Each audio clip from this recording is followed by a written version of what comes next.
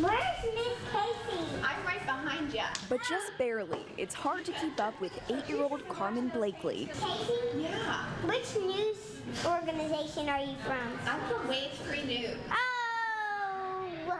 Carmen takes me through the halls of Breckinridge Franklin Elementary with complete ease. Under my jumper. Under your jumper. You're nice.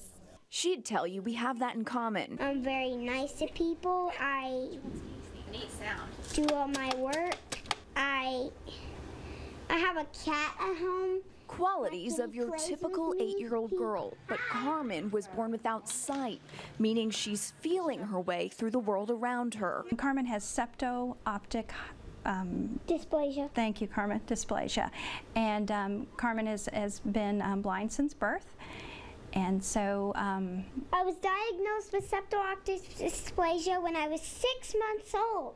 okay, there we go. So, in addition to second grade, Carmen spends additional time learning to read and write Rolling in. in Braille. Well, I like to write stories more often.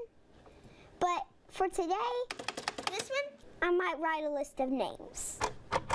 Kasey. Come here, feel it. Kasey. And if you can't tell by now, she happens to be great at it.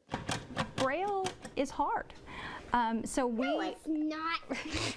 Carmen is one of 50 people in the entire country that's a winner in this year's Braille Challenge. and I'm one of the finalists to go to Los Angeles. Carmen will compete in California in two weeks, and we have a feeling she'll do pretty well. Then one day, in his own good time. After all, she's racing through the world around her. One that might be unfamiliar at times, but a world that gets bigger every day.